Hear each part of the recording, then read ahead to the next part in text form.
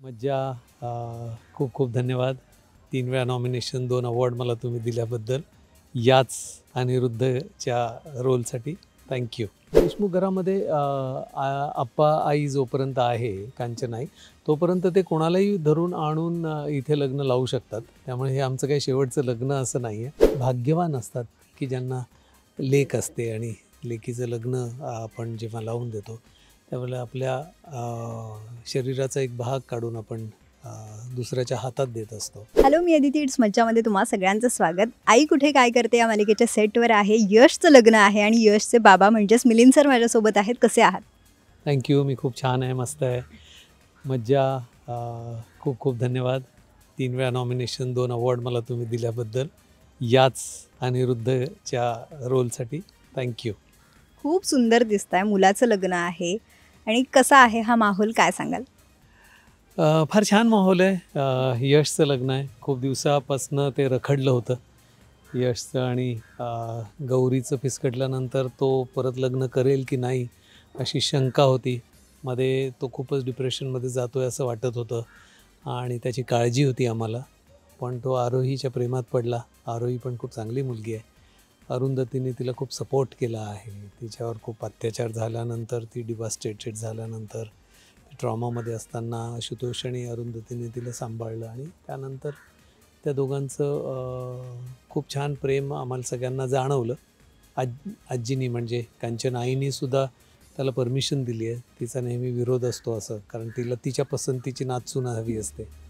तर सगळं आता सुरळीत झालेलं आहे. आता दोन तीन इश्यूज आहेत कन्यादान कोणी करायचं. आणि बऱ्याचशा गोष्टी आहेत. त्या एपिसोड बघा तुम्हाला कळेलच. नक्कीच. पण आता हा लग्न सोहळा चालू आहे. ट्विस्ट तर काहीतरी असेलच. त्याशिवाय मालिका पुढे जाणारच नाही. ट्विस्ट काय असेल? मला असं वाटतं प्रत्येकाच्या आयुष्यामध्ये ट्विस्ट असतंच. की ते असल्याशिवाय आयुष्याला मजा नाही. आई कुठे काय करते मध्ये ट्विस्ट असतं. ट्विस्टचं सोल्युशन पण आधी ठरलेलं असतं की या ट्विस्ट नंतर किंवा या प्रॉब्लेम नंतर काय सोल्युशन असेल. आणि त्या ट्विस्टमध्ये बऱ्याचशा प्रेक्षकांना म्हणजे मी प्रेक्षक म्हणून ज्या वेळेला बघतो त्यावेळेला आपल्या आयुष्यातले प्रश्नांची उत्तरं त्यात मिळतात. त्यामुळे छानसा ट्विस्ट आहेच.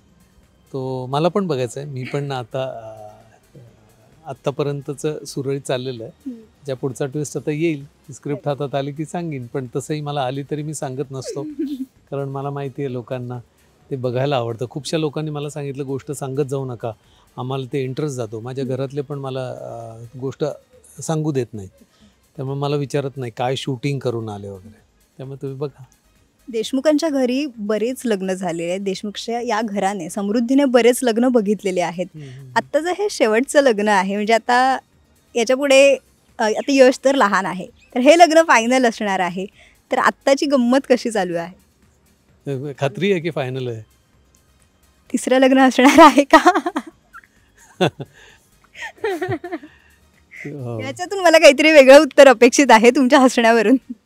नाही नाही म्हणजे हे शेवटचं लग्न आहे असं आपण म्हणतो. पण असं नाही देशमुख घरामध्ये आप्पा आई जोपर्यंत आहे कांचनाई तोपर्यंत ते कोणालाही धरून आणून इथे लग्न लावू शकतात. त्यामुळे हे आमचं काही शेवटचं लग्न असं नाही आहे आम्ही दत्तक घेऊ शकतो त्याचं लग्न लावू शकतो. हे म्हणजे इथे काही होऊ शकतं. असं शेवटचं असं असू शकत नाही. आणि त्यामुळे पण यशचं लग्न होतं आहे यश कसं आहे की सगळ्यांचा लाडका आहे. म्हणजे तो इकडे पण आमच्या सगळ्यांचा लाडका आहे आणि प्रेक्षकांचा पण लाडका आहे. कारण अतिशय सुंदर असा रोल यशचा आहे. मुलगा असावा तर यशसारखा असावा वगैरे असं मी खूप वेळा ऐकलं आहे आणि बाप असावा तर अनिरुद्धसारखा असावा. नाही असं नाही ऐकलं पण जेव्हा सर हे जो तुम्ही म्हणालात हां. मुलाच्या बाबतीत येतं त्यावेळेला नक्कीच अनिरुद्ध फार हळवा होतो किंवा far out of the way जाऊन त्यांना मदत करायला जातो. ते तर आहे. मी आपलं गंमत म्हणून म्हणतो की अनिरुद्ध तसा खूप चांगला बाप आहे. चांगला मुलगा पण आहे. नवरा म्हणून तो चांगला झाला नाही आहे पण माणसाच्या आयुष्यामधले काही काही फेज हे असतात भूमिका असतात. त्यात तो काही ठिकाणी यशस्वी होतो काही ठिकाणी अपयशी अपयशी होतो. त्यामुळे हे धमालमस्ती चालू आहेत.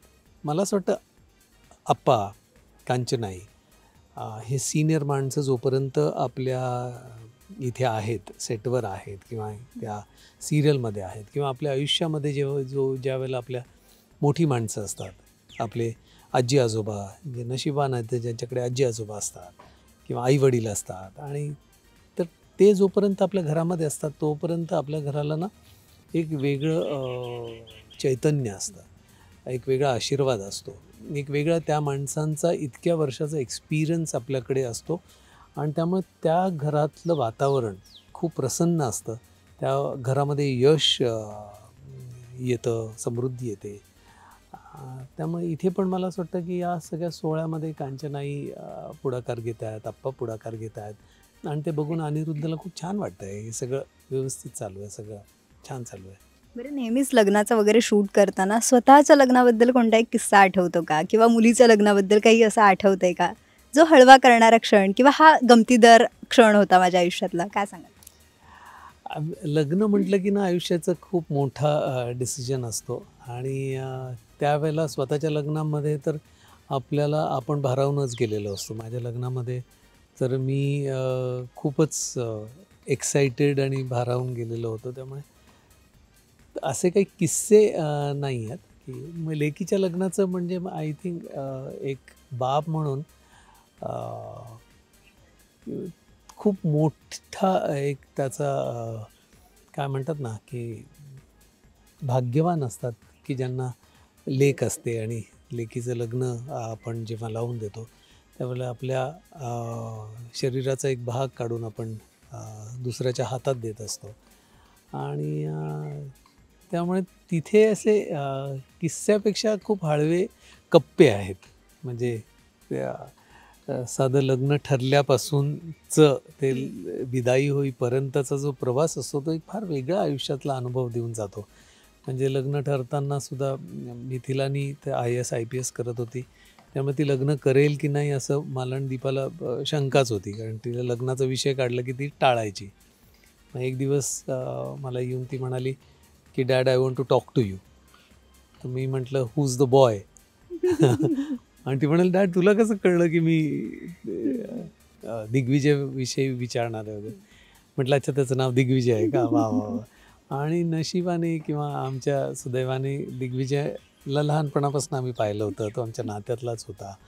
आणि ते खूप छान पद्धतीची त्यांनी सगळं व्यवस्थित प्लॅन केलं होतं. तिचं शिक्षण तिचं नोकरी त्याची नोकरी आणि त्यांनी प्लॅन केलं की आम्ही आत्ता पुढच्या वर्षी लग्न करू. पण आम्ही साखरपुडा वगैरे करणार नाही. कशाला दोन दोन फंक्शन करायचं वगैरे असे समंजस मुलं मला आहेत. आणि त्यामुळे असं एक वर्षाचा टाईम पिरियड दिला होता. मग त्या एक वर्षात माझ्याकडे खूप वेळ होता असा. मुलीचं लग्न प्लॅन करायला मुलीचं सगळं हे करायला. मग मी आणि दीपानी हॉल बुक करण्यापासनं लोकांना इन्व्हाइट कसं करायचं कुठे करायचं काय करायचं कसं करायचं? आई असती माझी तर माझं काम सोपं झालं होतं पण नेमकं त्यावेळेला माझी आई नव्हती. माझी आई पंधरा वर्षापूर्वी निघून गेली. तिने सगळ्यांची लग्न लावली तिने खूप लोकांची लावली. पण माझ्या लेकीच्या ल लग्नाच्या वेळेला ती नव्हती. पण मग हळूहळू हळूहळू. आणि मला असं वाटतं की मुली नशीब घेऊन येतात. ते त्यांचं त्यांचं नशीब घेऊन येतात. आपण निमित्त मात्र असतो. त्यामुळे माझ्या लग्नाचं किंवा लेकीच्या लग्नाचे खूप असे गोष्टी आहेत. त्या आपण बसलो की पण मला एक पूर्ण दिवस पुरणार नाही इतकं ते. वडील असावे तर असे. आणि मज्जाने यासाठीच एक माणूस म्हणून आणि एक अभिनेता म्हणून मज्जाने तुम्हाला इतके सारे अवॉर्ड्स दिलेले आहेत. सो. आत्ता यशला अनिरुद्ध म्हणून काय सल्ला द्याल? की आता लग्न तर होतंय पण सल्ला काय असेल अनिरुद्धकडून? मी आता प कालच त्याच्या मुंडवळ्या बांधताना सीन केला तो. आता उद्या परवा येईलच. तर तो तेच म्हणाला की आयुष्यात मी खूप चुका केल्या. मग त्या चुका माझ्या मुलांनी करू नये असं मला वाटतं. आणि खरंच आहे ते खूप छान तो सल्ला त्याने दिला.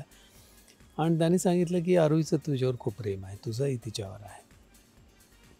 खूप आदराने खूप प्रेमाने तिला सांभाळ तिची काळजी घे.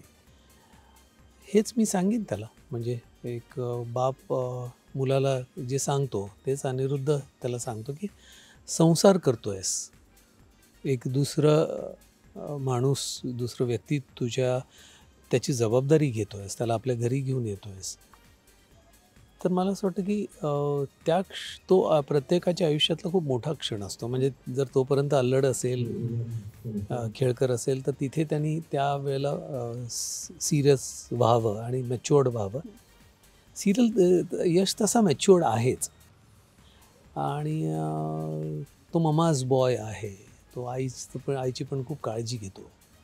आणि तो बायकोची पण खूप काळजी घेईल. मला असं वाटतं जी मुलं आईची काळजी घेतात ती मुलं बायकोची पण काळजी घेऊ शकतात असं माझं माझं मत आहे. हां. आता मी सिरियलमध्ये काय दाखवतो तर मला असं वाटतं सिरियलमध्ये पण असं तेच दाखवलं जाईल. कारण जे वास्तवात असतं तेच आपण सिरियलमध्ये दाखवायचा प्रयत्न करतो. तर हाच सल्ला आहे की छान राहा. Wish you a very happy married life thank you so much आणि तुम्हाला तुम्हाला खूप खूप शुभेच्छा. थँक्यू थँक्यू सो मच आणि यश आणि आरोहीच्या लग्नाला या नक्की. वाट बघतोय. मराठी चित्रपटसृष्टीतील लेटेस्ट अपडेट्स आणि गॉसिपसाठी आमच्या चॅनेलला सबस्क्राईब करा आणि बेल ऐकन दाबायला विसरू नका.